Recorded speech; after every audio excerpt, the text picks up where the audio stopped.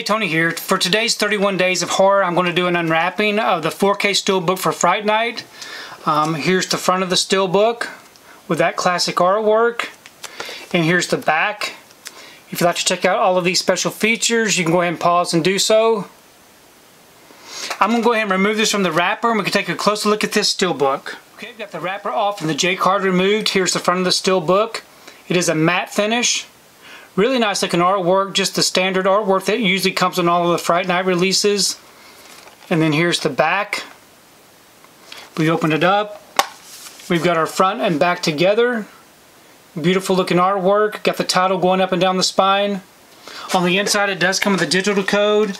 And we have three discs. We have our Blu-ray disc here with some disc art.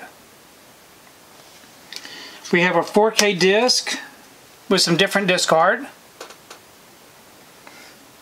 And we have a special features Blu-ray disc with even more different disc art. Really great that they put different artwork on all of these. Unfortunately, it does not have any inside artwork, just a plain background. But overall, I think it's a beautiful looking steelbook. I'm really happy that they did a 4K release with a steelbook. I do hope we get a standard release with a nice slipcover. Um, I do want to take time just to show you the other Fright Night releases that I have in the collection. I did get the Twilight Time release way back when this was first announced, kind of expensive.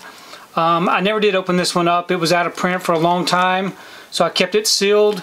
But I do have the regular Blu-ray release that came out a few years later for a decent price. So really, um, I'm really a big fan of the movie Fright Night. I'm very happy to have this one in the collection. Please leave me a comment below. Let me know what you think about this particular steelbook release.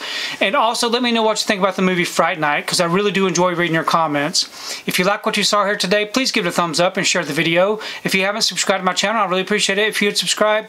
If you do subscribe, please remember to hit that notification bell so that you can be notified every time I upload a new video. If you haven't found me on my social media accounts, I'm on Instagram, TikTok, and on Twitter. And if you like to find out what I've been watching, you can find me over on Letterboxd. I do have links below. But thanks again for watching, and we will see you next time.